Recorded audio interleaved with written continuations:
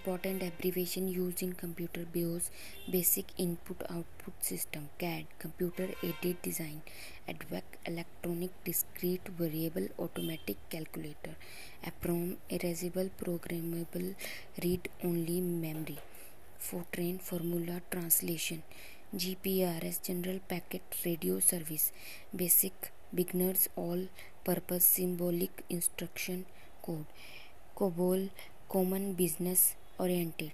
CDC Control Data Corporation CAN Campus Area Network. CPU Central Processing Unit.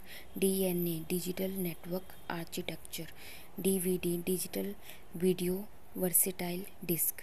Flops Floating Point Operation per Second. DTS Digital Theater System. CD Compact Disc DMA Direct Memory Access FMS File Management System FM Frequency Modulation ALU Arithmetic Logic Unit AI Artificial Intelligence DBMS Database Management System